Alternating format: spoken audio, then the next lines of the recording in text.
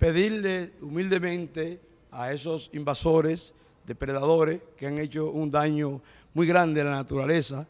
Eso fue una zona reforestada por voluntarios, estudiantes, gente patriota que ayudan al medio ambiente para la preservación de nuestros ríos, arroyos, y nosotros le estamos haciendo un llamado para que salgan voluntariamente del lugar. De lo contrario, no somos responsables a la consecuencia.